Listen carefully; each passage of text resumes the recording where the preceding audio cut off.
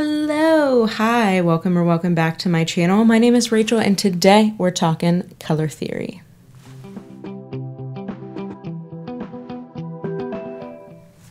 So, by popular demand, you have all spoken in the comments and in the video choice form that I have linked down below in Google Forms. And one of the top requested videos has been my personal approach on color theory, why I don't use the color seasons. We briefly touched on this topic in my fashion Q&A. But today we're going to dive deep and I want to start this off with by no means am I an expert. There are plenty of channels here on YouTube dedicated to Color Theory 101. Go check them out if you're interested in getting a deep dive kind of class, if you will, into this. However, today I'm going to cover what I think is the most important to pull out of color seasons and color theory so that you can apply it to how you dress and your makeup. If you are someone who is curious about how colors can make you look very vibrant with little effort, if you love all colors of the rainbow, hi, same. I like to play around clearly, but this is for those of you who are interested in learning a little bit more. I will include some links down in the description box for some really helpful websites. We're also going to be popping up some pictures of color wheels on the screen. So let's dive in to why I don't use color seasons first and foremost. Actually, before we dive into that, let's talk about to me, there are two most important things when it comes to fashion and makeup, and that is undertone and contrast, which color seasons call chroma as the contrast. But why that is, is because as human beings, we really visually like things that are balanced and have symmetry. And in order to achieve that balance and symmetry, the easiest way that you can achieve that is through undertone to get all the colors flowing in the right way. And then also with the contrast to make sure that the eye doesn't go to one place and stay there, it kind of sees the whole picture first. So, the goal here today is to understand those two things and really find ways that you can start tuning your eye into those subtleties so that when you go to do your fashion look or your makeup look, your eye knows exactly what to look for and understands the nuances and the differences of color. So, now before we go any further, I want to talk about why I don't personally really jive with the color seasons.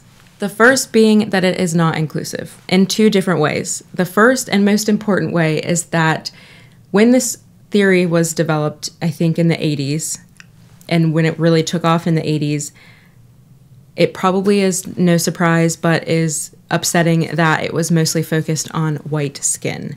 So even now, as I was Googling for the other video I did where I touched on this, it is very hard to find resources that are geared towards any other type of skin tone than white skin. And I am hoping that with this resurgence of interest in this color theory that that can be addressed and a lot more resources can be built out for other skin tones. But that is that's a problem to me.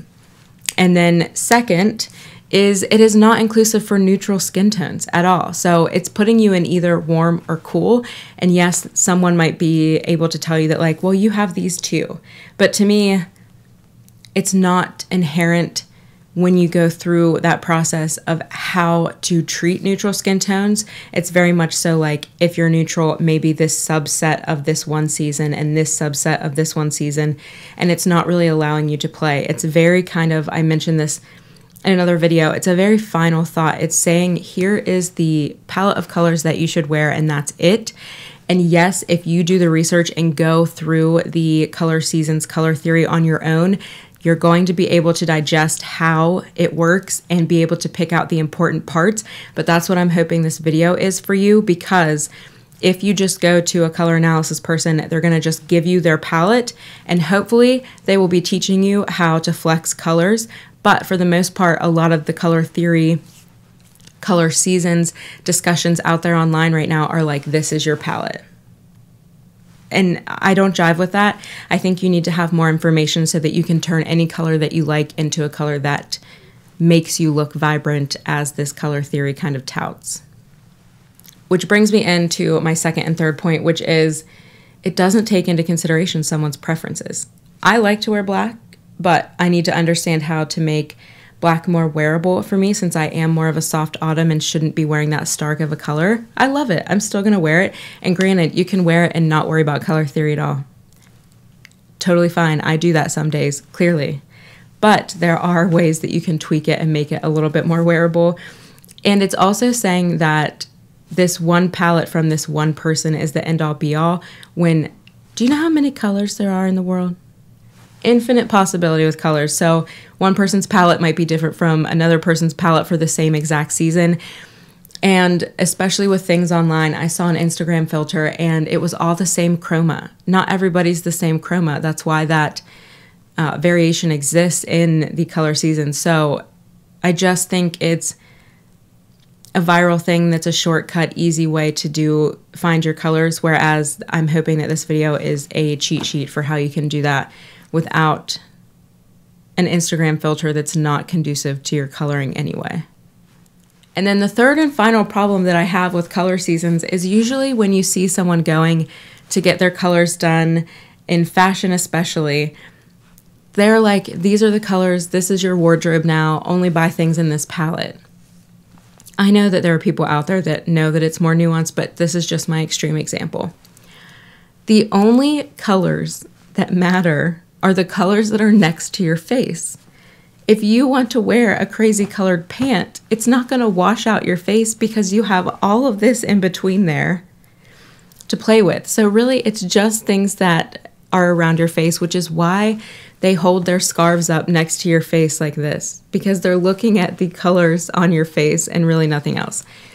Now, are there colors that will make your arms look better if you're wearing a short sleeve shirt? Sure, but for the most part, this is really for the top half of the body, you know? So, especially in that case, it's just not, you don't have to go buy a whole new wardrobe because you're a soft autumn. That's what I'm getting at. That's it. So, I think I've ranted enough, but back to my original statement, the most important thing is undertone, matching it to your natural undertone, and balancing the contrast or chroma so that the eye doesn't go to one particular area and stay there unless you want it to. But if you don't, it kind of is able to float and see the main picture, just like a photograph. Okay, so to understand the undertone and contrast conversation, let's do a little color theory 101 if you're someone who already has a grasp on this, feel free to jump ahead. I'll put a timestamp here. But if you are interested, let's dive into the very, very basics, which is the color wheel, which I will pop up on the screen or maybe over here. I'll scoot over. So you have your primary colors, which are red, yellow, and blue. All colors in the history of colors start with a combination of these colors. So everything is going to come from these colors, which is why they're called primary. Then you have secondary, which is colors that result from mixing two of these. Think red and blue, purple, blue and yellow, green, that type of thing. So that's going to be the secondary or the kind of second ring on the wheel that I'm showing you here. Then we have tertiary, which, as you probably guess, is the combination of two of those secondary colors. So, again, kind of that third ring on this wheel that's the terminology that we're going to be playing with a little bit. But out of this wheel, you're going to have warm and cool colors, and that's going to play into the undertone. So imagine drawing a line, and if I can and I have time, I will draw a line. The red, yellow, and orange is going to be on the warm side, and the purple, green, and blue is going to be on the cool side. I always like to think of fire and water cool and warm. So that's where you're going to get your undertone from. Now, I do want to have a conversation about neutral, and I'm going to look off to my notes because I'm going to read a definition. So, by definition, neutral is a color that's lacking any hue, which hue is another word for color. So, we'll be saying that interchangeably in this video. So neutral is lacking in any hue or color and isn't shown on the color wheel, but for the purpose of makeup and this video, let's use this, which is my own definition, as our definition. A neutral color is going to have balanced undertones with warm and cool, so it doesn't lean too far into either one of those. And any color can be neutral by mixing the right combination of colors, whether it's primary colors, secondary colors, tertiary colors. So, that being said, talking about neutrals, I want to add in here that you have to remember that skin tone is just like colors, there's infinite possibilities.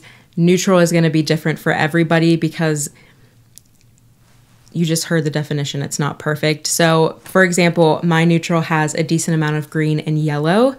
Khaki Reviews Beauty here on YouTube, hers has a decent amount of peach and yellow. And then if you look at Hannah Louise Poston, hers has a decent amount of green and then almost gray. So, eh, saying that we're fair neutral, it could mean a plethora of things. It's really getting to know the color of the undertone so that you know kind of on the scale of neutral where it lives. And I think that that's why the color seasons don't really cover neutrals because it's a huge gray area, pun intended.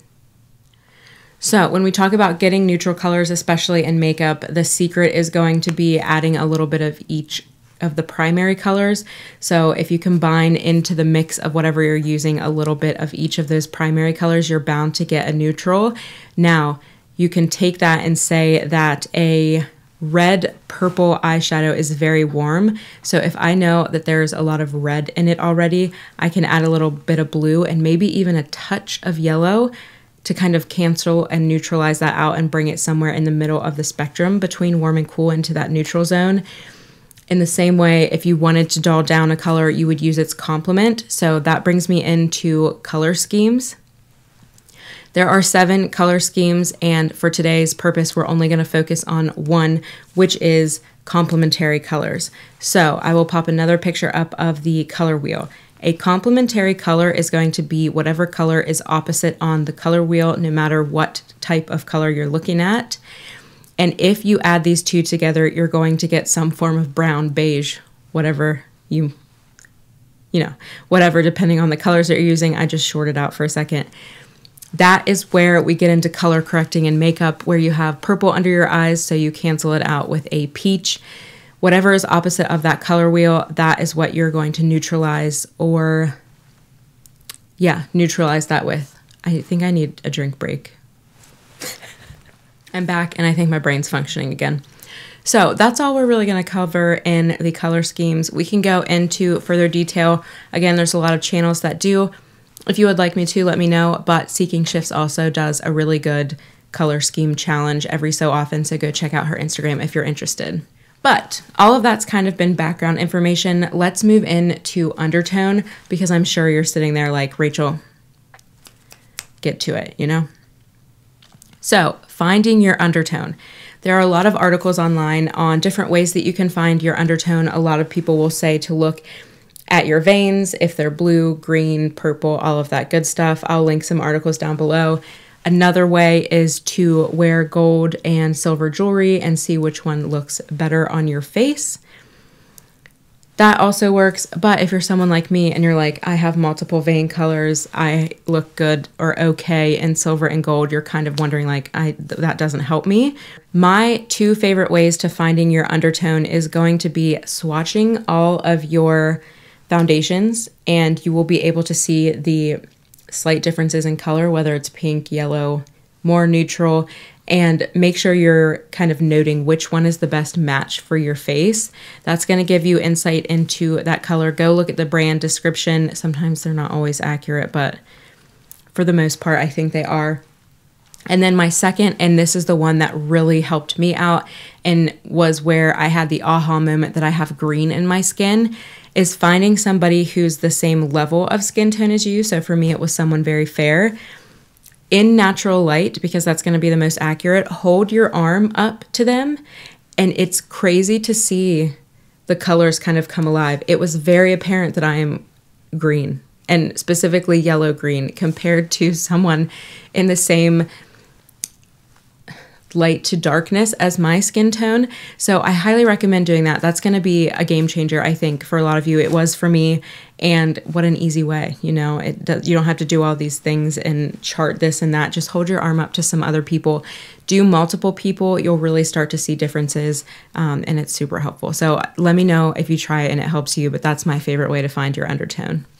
Okay, once you have done a number of those things, one of those things, and you develop or understand your undertone, the thing that I want to mention here is if you do have green in your undertone at all, you are more than likely neutral. That is a very neutral color when it comes to the undertone of skin tone.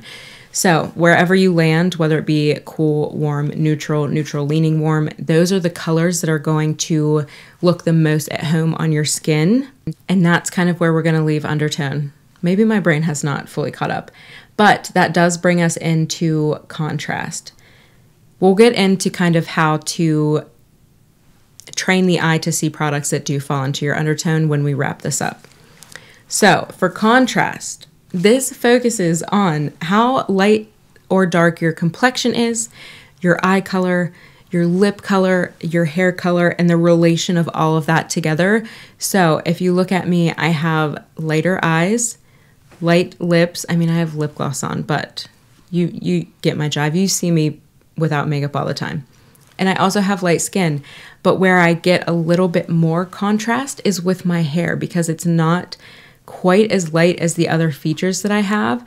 But when you look at everything together, there is very little difference between my eyes, lips, and skin tone, and just a little bit of difference in my hair color. So I'm muted. If you have very light eyes, really pigmented lips, and dark hair, you have very high contrast or high chroma, or you're bright and clear in the kind of color seasons world. Now, the best thing you can do is balance this out. So if I go to do my makeup, it is going to be the most suiting for me to bring the contrast of whatever colors that I'm using on my face up to my hair. That way, everything is coming at you at the same time instead of my hair being the first thing that you see because my face is totally blank. So that's why I like to really emphasize the line on my eyes. That's why I like to wear brighter lips, a lot more blush, and have dark lashes because it brings that contrast up to balance the contrast of my hair against my skin. Now, for you, the biggest contrast might be your eyes to your hair. It might be your overall look is kind of on the same plane, even more muted than I am. And that you have to play with a little bit. And that is going to lead us into if you do lean towards not having a lot of contrast, you want to stick to the colors that are shaded to the level of everything else. So instead of bringing these up to your contrast, you want to kind of live at the level wherever that level is for the contrast between your features. And an easy way to do that is going to be playing with tint, shade, tone, and I think that's it. Yeah, tint, shade, and tone. So, tone is going to be the most helpful if you lean more on the muted spectrum, but sometimes lightening a shade, which is tinting it, or darkening a shade, which is shading it, is going to be helpful as well.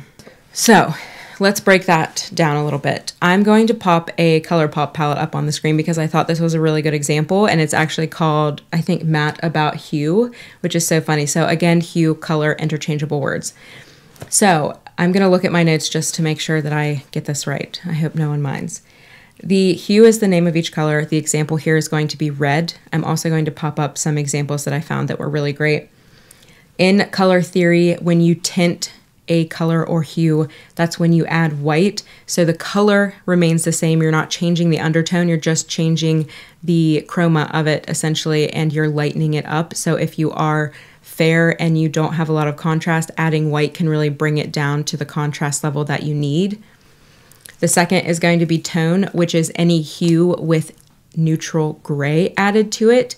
So this is my personal favorite way to mute down colors and it is when the color remains the same but it's less vibrant.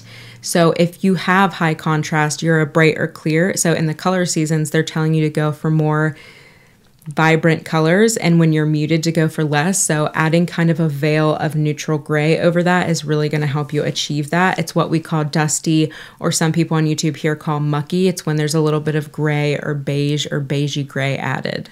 And in this tone variation, it can range from very light to dark. So you can add a light shade of gray or a dark shade of gray. But when we get into adding black, which is the next one, that is different from this. So tone is just adding that muckiness again. So then shade is any pure hue with black added. The color again remains the same. You're not changing the undertone in any of these exercises. You're just adding a pure black and shading it down. So if you are of a deeper complexion and you need to tone things around or bring them up to the contrast of your skin tone because it's too light of a shade, adding black's going to help. Again, this is not talking about undertone. You get into a much larger conversation when you want to change the chroma and the undertone of a product, and we can do a whole video on that. Um, I'm trying to wrap my head around how I want to just organize that information, but for the purpose of this video, we've talked about identifying undertone and staying to your undertone and then we've talked about how to identify your contrast or chroma levels and three different ways that you can take a color that you already like and bring it to whatever contrast level that you need it to be for it to be the most flattering. Now, as this ColourPop example is up on the screen, if we want to talk about the three things that we just talked about, that center row we're going to say is our baseline or our pure color pigment. So when you talk about tinting a shade and adding white to it, that's when you're going to see us kind of go up to that second and first row. So you can tint a shade to be just a little bit lighter, or you can go into pastel, but that's going to be a tint. Then, if you go down a row, interestingly enough, this I think is your shaded row where you've added black and you've made it just a bit darker. Not much. This is a perfect example of adding black does not mean that it's going to turn almost black. You there's a range there like I showed before. And then that bottom row looks like they have not just added black and shaded it, but they've added that veil of gray over it so they have toned this bottom row. And I thought this was a really great example. So this is kind of a visual representation of how you can change that color without adjusting the undertone of it. Okay, so now that we talked about undertone and contrast, let's talk about marrying those two in conversation. So, the more muted you are and the more neutral you are, you're going to look for neutral colors that have been tinted, shaded, or toned, so they're not pure hues. The more kind of contrasting you are and cool you are, you're going to want to look for true hues and vibrant colors that lean on the cool side. So they have more of that purple, blue, green sometimes in the color and if you have specific questions about that, let me know. We can run through a whole video. But that's how I would apply those two things. And that is going to result in you having the most flattering makeup on your face. And then that brings us into the probably golden question of this conversation, which is how do you tune your eye to understand undertone and contrast? And there is no easy way to go about this other than swatch swatch all the things, look at color palettes online, start going through the exercise of swatching things and being able to say, this has looks like more red in it, or this one looks warmer. Start with just undertone. This looks warmer, this looks cooler, and then start diving into maybe what colors are playing into that. Read product descriptions of colors, look at them when you swatch them, go back and forth, play with makeup, mix colors together, it really is about playing and learning and discovering and tuning your eye into that. The more that you practice looking at color in this way, the easier and the more kind of muscle memory it's going to become. You'll be amazed at how quickly it starts coming to you, too. Just really, it takes kind of studying color. And then I want to say at some point we can do a video where I demo this, but we talked about how to apply this, but here are some specific examples I'll throw in there just to help. So when I do my strong wing, that adds a lot of contrast to this level of my face. So a way that I balance that is I make sure to wear blush, whether it's a strong color or a neutral like this, and I balance it with a lip. Just like the look I did today, the eye is instantly drawn to this shiny rainbow. And to balance that, I wanted to add a little bit more pink to my lips and quite a bit more blush, just so that everything comes at you the same level. I know that it's hard to look away from glitter, but you get you get where I'm going with that. Or doing a strong blush with a statement lip, or if you do want your lip to be the first thing that the eye goes to, you wear a statement lip and you keep everything else bare. I love that look. I loved that look with that hot coral lip and just a little bit of lashes. But playing with balance against all your features, that's what we're kind of getting at with that contrast conversation. All right. I can't believe this, but we're about to wrap up. So I'm going to look at my notes just to make sure that I'm hitting the points that I wrote down. To wrap this up, number one, contrast and undertone are going to be the most important takeaways to making colors add vibrancy to your overall look and for jiving with the coloring that you already have. They're also the two most important takeaways from the color seasons, but in today's video, we went deep. The second is the things that are going to make the most impact are going to be things right at your face level.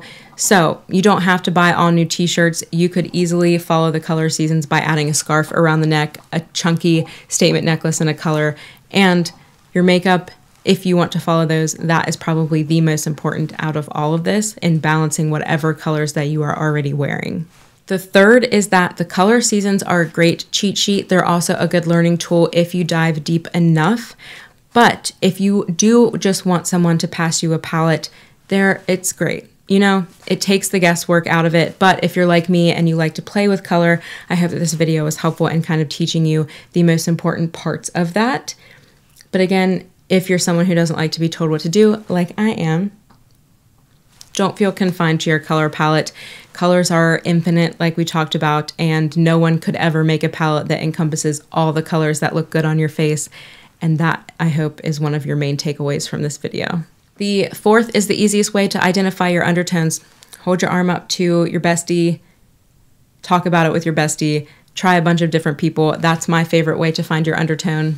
Then I hope that you also learned why contrast and balance is important because the eye loves symmetry and balance. We also talked a little bit about how to play with contrast in your makeup and how to change the overall saturation of a color by playing with tint, shade, and tone and not affecting the undertone if it's already a shade that is your undertone. And then last, what I want to leave you on is the easiest way to find colors that suit you is to be to go to a store, go to your collection, go to your friend's collection and swatch. Swatch, swatch, swatch. Makeup is meant to be fun. We're meant to play around with it. You can wash it off at the end of the day. Same with clothes. You can take them off at the end of the day. So there's infinite possibility on what we can play with, and there's very, very little risk to not getting it right the first time. So I hope that you'll go forth and play with color, study color, and if you would like to see more color theory, on my channel, please let me know if there are specific questions you have, if there's anything you want me to cover in a demo on how I would fix, let me know down below and I will film that. Again, I am not an expert, so don't at me. This is just what I personally subscribe to from a color theory perspective. And I hope that you're having an amazing, colorful day. And I will see you in the next one. But before I go, just a quick plug this outfit and eye look I did film. And yes, this is my third video in it because th- this is me as an astrological Miss Frizzle teaching you about color theory. All right, have a good one. I'll see you in the next one. Bye.